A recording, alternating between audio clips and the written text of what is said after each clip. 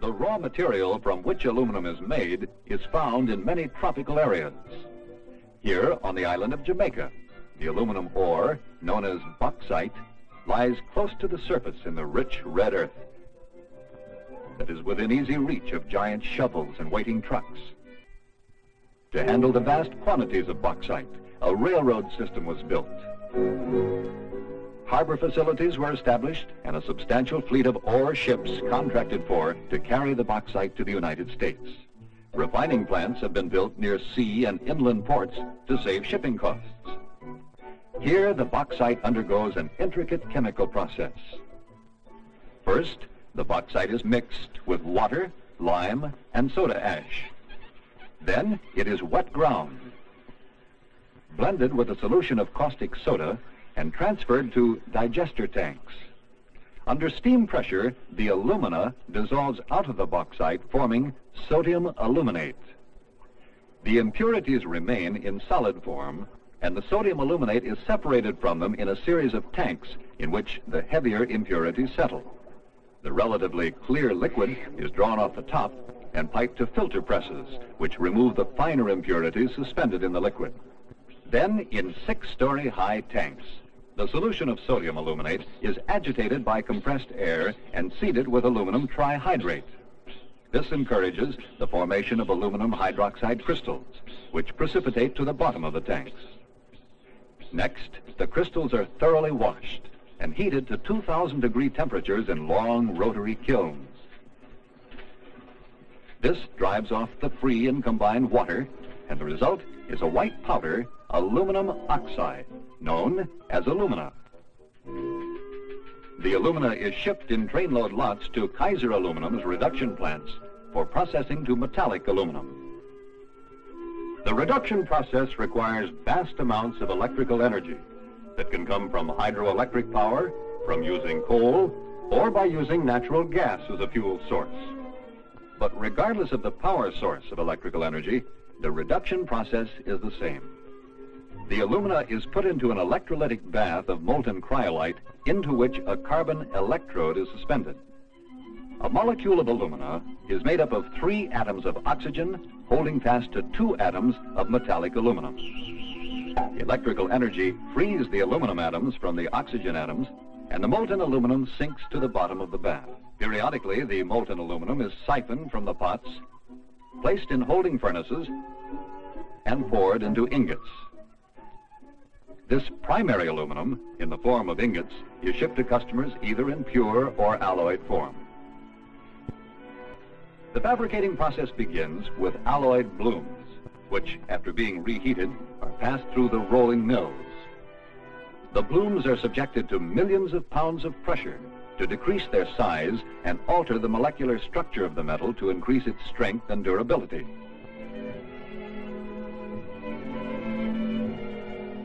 In the manufacture of wire, ingots of workable length are processed in the continuous rod mill. The fully automatic process is completed by a series of reductions.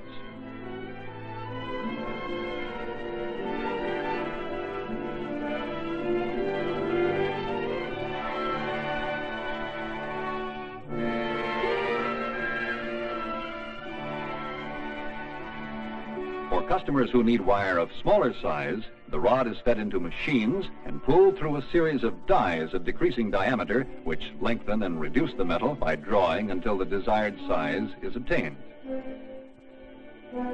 In addition, the plant makes many specialized types of wire and cable products, including aluminum cable steel reinforced for high tension lines, known as ACSR and all aluminum cable, known as AAC.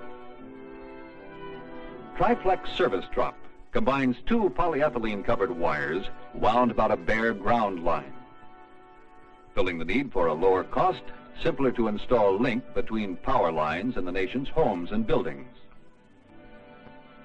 At modern extrusion plants, like this one located near Baltimore, Maryland, designs and shapes like these are extruded through dies. Experienced designers are available to customers to make dies that meet the most exacting specifications. The die makers know from long experience that the most careful execution of design is essential to properly control the flow of metal through the die.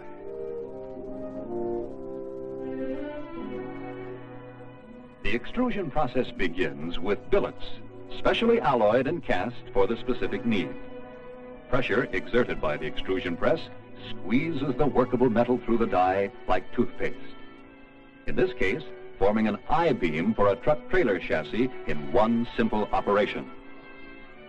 The workability of aluminum and the simplicity of the extrusion process make possible almost numberless designs, including window frames, decorative molding, furniture tubing, storefronts, structural members for transportation equipment and buildings. Huge ingots are subjected to tremendous pressures in the rolling process.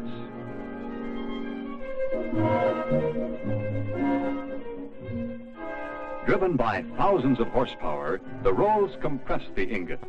And after several passes, it is reduced from its original thickness of 13 inches to 3 inches, and its length is increased from 9 to 30 feet.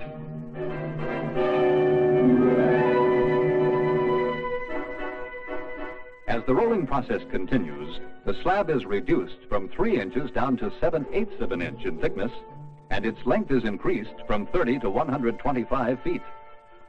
The slab then moves into a huge five-stand continuous mill. Actually, it is five mills working in tandem to reduce the 7 8 inch slab down to sheets of 1 tenth of an inch in a single pass.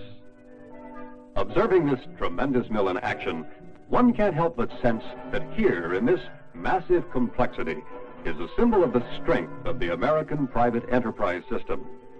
Operated by highly skilled workers, the costly equipment is made possible through investment by thousands of stockholders, men and women who believe that our American economic system can continue to produce more things for more people efficiently and without waste. The sheet streams out of the five-stand mill and onto the roll-up machine, where it is coiled at high tension into large, tight rolls ready for further processing.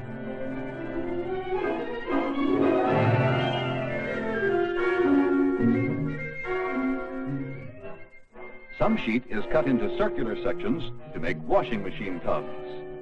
Blanks are stamped from aluminum sheet to make products like pots and pans.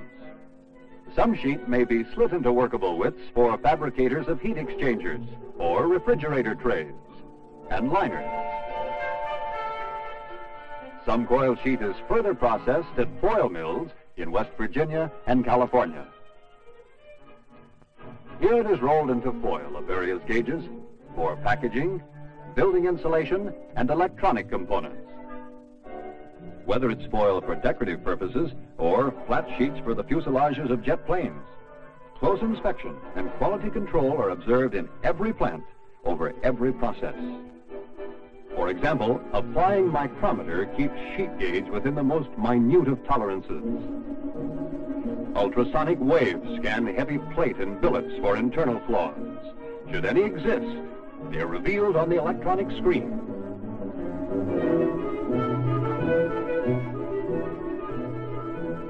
The alloy content of the metal itself is analyzed by direct reading spectrograph, called a quantometer.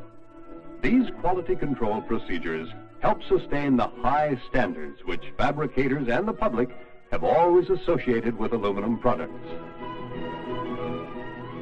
Kaiser Aluminum works constantly with fabricators to solve technical problems and to develop new and better uses for aluminum, such as this tank to contain liquid hydrogen at minus 423 degrees Fahrenheit, which takes full advantage of aluminum's light weight, weldability, and increased strength under extreme cold.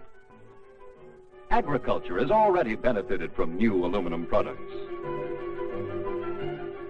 Rolling stock made of this light, durable metal helps railroads to increase payloads and cut maintenance costs. In the construction industry, glass fiber wall panels, sandwiched between two sheets of aluminum, give three times the insulation of eight inches of masonry. Lightweight, strong, corrosion-resistant culverts are an example of aluminum's contribution to modern highway construction.